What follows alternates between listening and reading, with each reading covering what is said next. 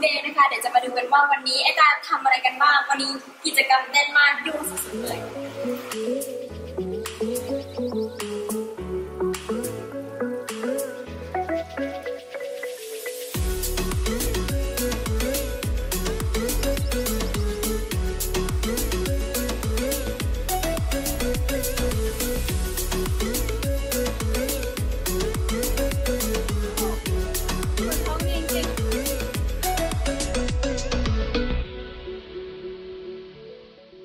เวลามาออกกำลังกายแบบนี้นะคะ แต่ก็จะพกพวกอุปกรณ์อาบน้ำของตัวเองมาด้วย จะเป็นสบู่ล้างหน้าพวกนี้นะคะ พวกสบู่อาบน้ำเนี่ยเขาจะมีให้ไว้ในห้องน้ำเลย แต่ว่าแชมพูและครีมนวดเนี่ยตาพกมาเองเลยนะคะ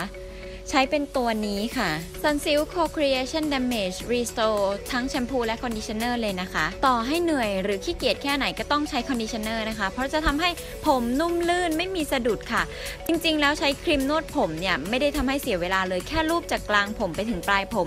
ทิ้งไว้แค่นาทีเดียวล้างออกก็เสร็จแล้วค่ะ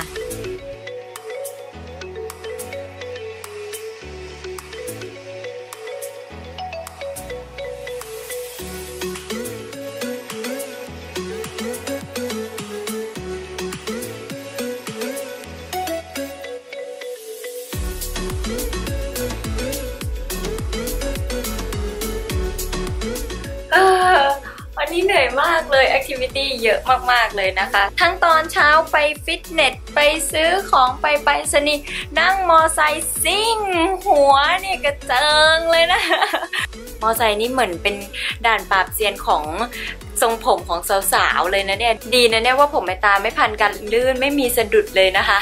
ถ้าไม่งั้นนะหัวแบบ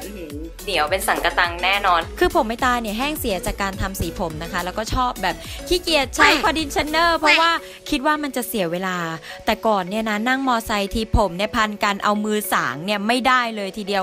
ติด พันกันยุ่งเป็นสังกตังเลย แต่ว่าตอนนี้มาขยันใช้ conditioner เพราะว่าค้นพบว่ามันไม่ได้ยากอย่างที่คิดไม่ได้เสียเวลาอย่างที่คิดนะคะ ก็เลยอยากจะฝากสาวๆไว้